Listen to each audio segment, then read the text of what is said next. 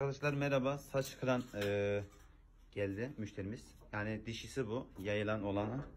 Bunun tedavisini göstereceğim. Usturayla hafiften şöyle kesiyoruz. Olan yere çizikler küçük küçük çiziklerini atıp eee, küçük bir işlem yapacağız. Arkadaşlar kestiğimiz bölgeye sarımsağı yediriyoruz. 5-10 dakika boyunca gezdiriyoruz. Derinizde biraz yanma olur. Onda da yapacak bir şey yok.